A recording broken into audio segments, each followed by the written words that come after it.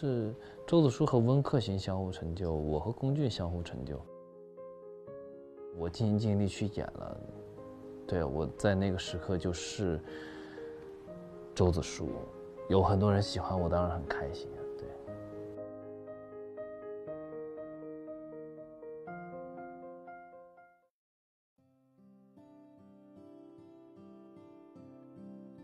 因为当时。这疫情嘛，在家歇了很久，然后也看了很多本子，觉得这个本子就是很喜欢，然后是个武侠戏嘛。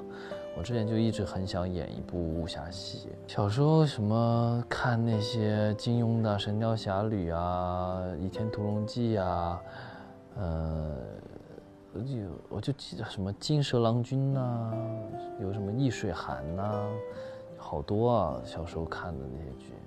特别想要演的那种武道角色？张无忌，都姓张。看过李连杰老师电影版的李连杰老师的《倚天屠龙记》，看了很多很多遍，嗯，就很喜欢。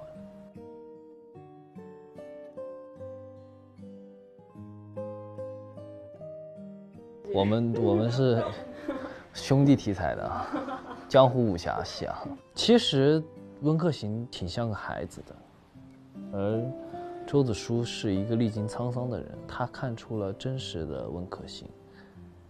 其实温客行都不一定了解他自己想要什么，想得到什么。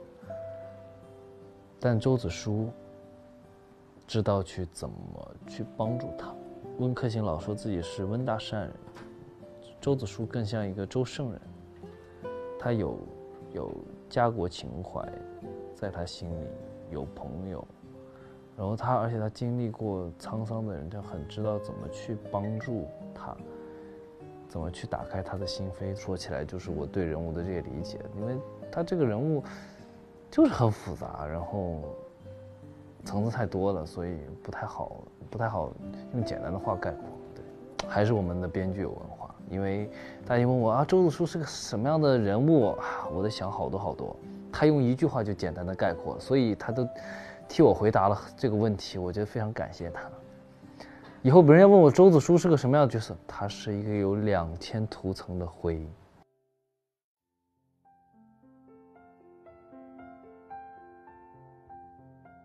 演戏的时候就尽情的投入角色吧，追剧是能唤起当时很多的回忆。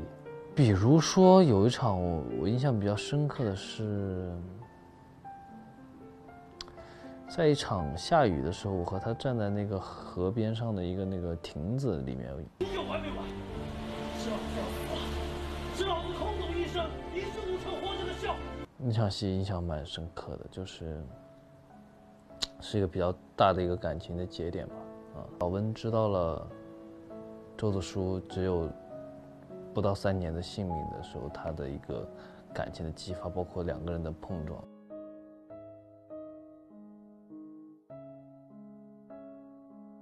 演员只是一部作品的一部分嘛，一部好的作品离不开所有人的努力。那您觉得您跟周子舒是相互成就吗？我觉得是周子舒和温客行相互成就，我和龚俊相互成就。因为我觉得周子舒就是我，我就是周子舒，不属不属于互相成就，他是本身就是一个人。我很少给我自己演的角色打分，因为每个角色我都是尽力会去演好。演员并不是说我拿到个角色，我去饰演他，就像我交了一份考卷，因为没有一个准确的答案告诉你演的好或者不好。可能我演一个角色，我很投入了，没有获得大家的喜欢，但是我也同一样很爱这个角色。这就是很奇怪的地方。到我尽心尽力去演了，对我在那个时刻就是周子舒，然后。有很多人喜欢我，当然很开心啊。对，就是演戏啊，就做好演员的工作。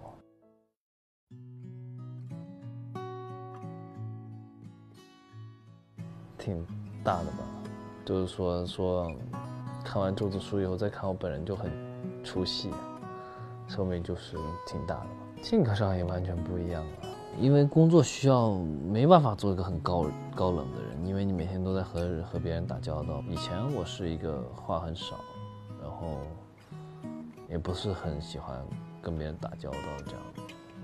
很奇怪，我们剧组好像都是那种慢热型、慢性子的那种人，这几个人好像都是这样。嗯，那如果就是自己一个人的时候会做什么？打高尔夫啊，然后很跟一个人的时候可以看书啊、看电视啊、跑步啊，可以做很多事情。我挺喜欢一个人的。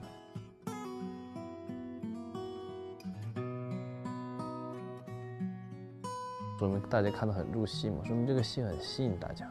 一部戏喜欢喜欢一对 CP，我觉得就很就很正常啊，大家开开心心追剧就好了。希望希望我们的戏能够带给大家很好的正能量吧。就是我演的周周子舒是一个将死之人，但是他没有放弃自己的呃生命，他是想为自己活着。他遇到温客行呢以后，他会想，嗯、我只有三年了，那怎么办呢？那有一个这样的人在身边，过痛痛快快的过三年，也挺好。他是一个怀着一个积极乐观的态度去面对这些东西的，对。所以大家不要去放弃生活，不要去放弃。他出场的时候，我觉得这个男的好帅，没想到到真正认识他这一天，竟然已经过了快十年，相见恨晚。谢谢啊！很多我看很多网上评论，看了第一集就难以下咽，就差点弃剧了。还好温客行出来拯救了这部戏。哥哥真是拥有巨抛剑的真演员，不知道这是褒义还是贬义啊？就是演员就是应该好好演好每部戏啊。本人喜欢周子舒的乞丐装，有种邋遢的帅，我也很喜欢，因为当时画的还更脏更丑丑，我我也很喜欢。但后来导演说：“哎呀，不要太脏啦，太丑了，就是怕观众接受不了。”其实我觉得倒还好，我觉得因为他越邋遢越越脏兮兮的，后面的反差才会大嘛。嗯，《山河令》透着一种老派的浪漫，可能是就是它有武侠在里面啊，讲了江湖的爱恨情仇，但只不过是另外一种视角和角度吧。剧外张志涵叭叭叭，龚俊反驳都费劲；剧内张志涵人狠话不多，全靠龚俊说，差不多吧。空俊其实是一个嘴巴不是特别特别快，或者是特别特别，我们就会老和老会和他开玩笑嘛，因为都关系比较好，所以所以感觉都是像嗯，就像欺负他一样，其实就是我们开玩笑的一种方式。嘴硬心软的清冷老干部，我的爱，那要好好爱。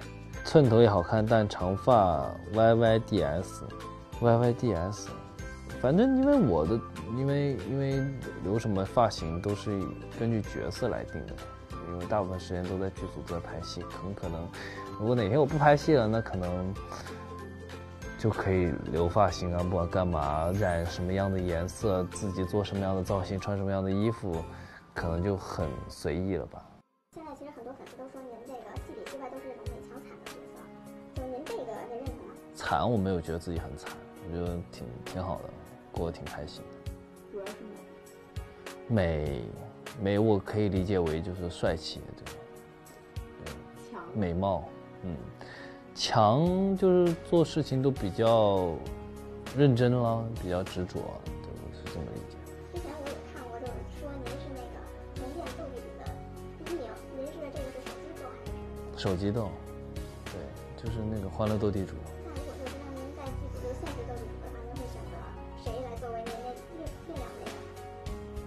就就肯定选的比较熟一点的，我可能会拉上我的制片人，然后叫上龚俊嘛。对，嗯，您觉得您能斗赢公主吗？必须的。他一看就不太会玩斗地主，可能牌都算不明白。有啊，就是就是杀青的时候，就快杀青的时候，大家约一起吃饭。那个那次吃饭是龚俊请的客，所以我就吃太多了，我吃吐